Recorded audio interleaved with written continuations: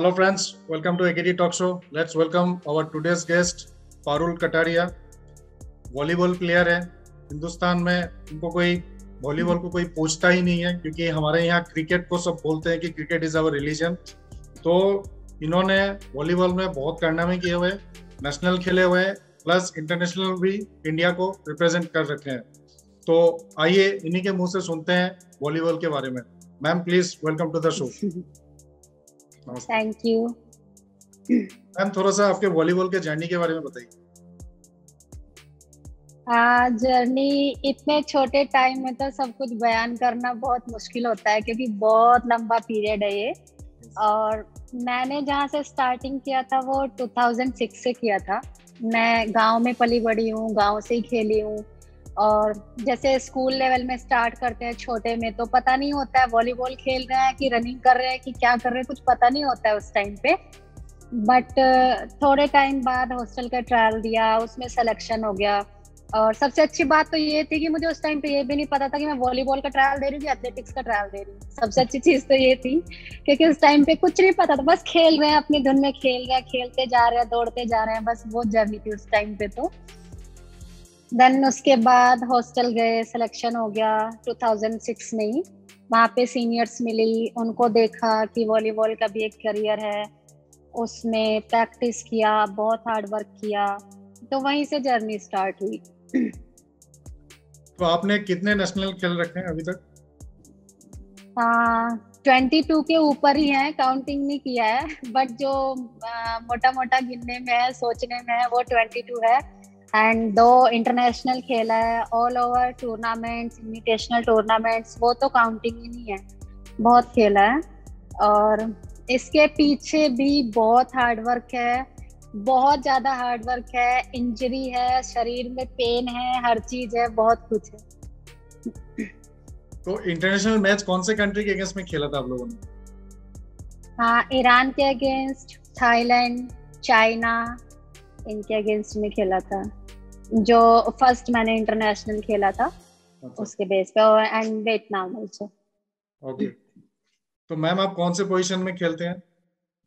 मतलब एक मैं तो काउंटर अटैकर अच्छा। जो साइड हिटर स्मैशर होता है उस पोजीशन पे मैं खेलती हूँ। ओके तो एक वॉलीबॉल प्लेयर के लिए किस टाइप के एक्सरसाइजेस की ज़रूरी है? कौन से कौन से स्ट्रेंथ वर्कआउट करते हैं? कौन से कौन से ड्रिल्स करते हैं? हाँ सबसे पहले तो मैं कहूँगी कि आपकी हाइट अच्छी होनी चाहिए। सबसे पहले अगर आपको वॉलीबॉल खेलना है तो आपकी हाइट अच्छी होती है। क्योंकि स्टार्टिंग में हर कोई सोचता है कि देख के कि मैं भी वॉलीबॉल खेल लूँ, मैं भी खेल सकता हूँ या खेल सकती हूँ। बट ऐसा नहीं है। आपका हाइट छोटा है तो मैं रिकमेंड नहीं करूँगी क्योंकि आने वाले लेवल पे बहुत प्रॉब्लम्स क्रिएट होती है हाइट के मतलब जिनकी हाइट कम है। तो सबसे पहले यही है कि आपकी हाइट अच्छी होनी चाहिए। और उसके बाद रही एक्सरसाइज की बात तो स्टेमिना बहुत ज़रूरी है, क्योंकि कंटिन्यू दो बॉल हिट करनी पड़े, तीन बॉल हिट करनी पड़े, उसके लिए हमें फिजिकली फिट रहना बहुत ज़रूरी है। एंड एक्सरसाइज की बात जंपिंग एक्सरसाइज आप अगर सेटर हो अटैकर हो, कुछ भी हो, आपको जंप वॉलीबॉल में जंप एक ऐसी चीज़ है जो सबको चाहिए। बिल्कुल बिल्कुल। तो अभी इंडिया में जैसे सब लोग क्रिकेट को प्रमोट कर रहे हैं बाकी स्पोर्ट्स अभी धीरे धीरे हाँ आ रहे हैं। तो वॉलीबॉल के इंफ्रास्ट्रक्चर हम्म। के बारे में क्या बोलेंगे? मतलब फैसिलिटीज़ है हमारे इंडिया में?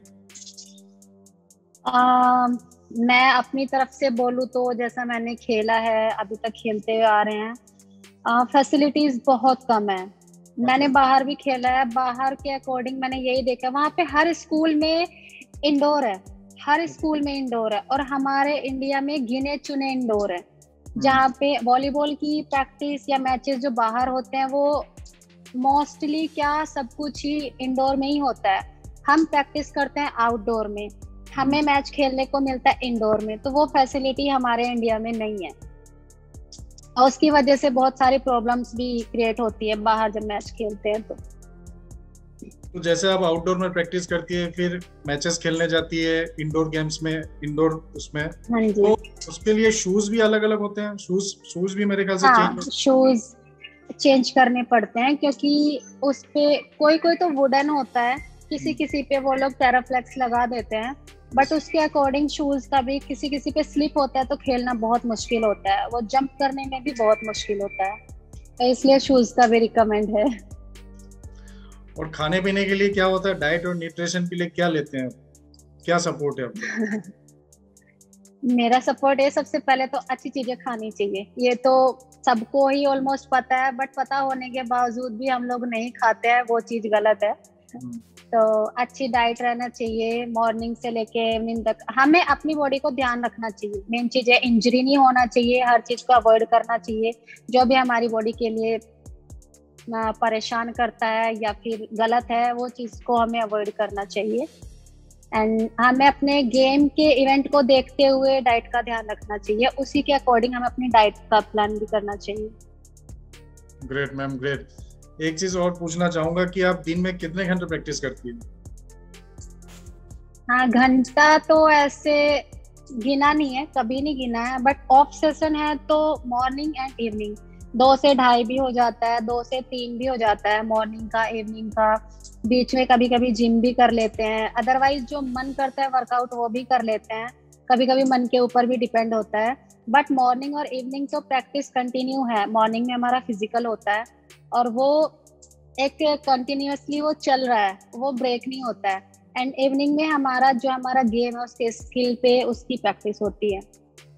दो से ढाई ढाई से तीन वो हो जाता है। तो कोचेस वगैरह है? कोचिंग फैसिलिटी वगैरह? ओके हाँ जी वो कोच हैं हमारे वही उनके अंडर में ही हम लोग प्रैक्टिस करते हैं। ओके तो लास्ट क्वेश्चन मैं पूछना चाहूँगा यहाँ से आगे क्या देखना चाह रहे हैं? फ्यूचर प्लानिंग क्या है आप? फ्यूचर प्लानिंग तो यही है कि कोई भी स्पोर्ट्स में हो कोई भी वो यही चाहेगा कि अपना गेम ऊपर हो। Yes. अपना गेम ऊपर जाए हार्ड वर्क हो और सबसे बड़ी चीज़ है ईमानदारी हो। ईमानदारी से टीम चले, ईमानदारी से आगे बढ़े, सबसे अच्छी चीज़ तो यही है। पार्शलिटी ना हो, वो चीज़ सबसे ज़्यादा है। और मैं तो यही चाहूँगी कि हमारा गेम भी, हमारी इंडिया भी ओलंपिक में क्वालिफाई करे, सब अच्छा खेले और ऊपर लेवल जाए हाई लेवल जाए, ये तो डिमांड है ही है।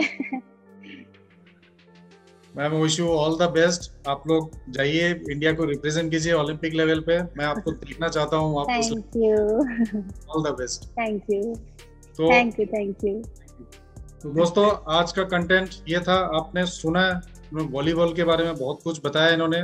जिस देश में मैं बार बार इसीलिए बोल रहा हूँ कि जिस देश में क्रिकेट को इतना भगवान माना जाता है उन्हीं देशों में वॉलीबॉल के बारे में किसी को पता ही नहीं। इनके बारे में मुझे पता लगा इंस्टाग्राम में। She is very much popular in Instagram तो इसलिए मैंने आज इनविटेशन दिया था मेरे चैनल में आने के लिए। Thank you for coming to the show तो ये था आज का कंटेंट थैंक यू मैम ये था आज का कंटेंट प्लीज़ लाइक शेयर और कमेंट कर दीजिएगा और नोटिफिकेशन बटन को काइंडली प्रेस कर दीजिएगा। Till then stay tune for the upcoming videos thank you thank you ma'am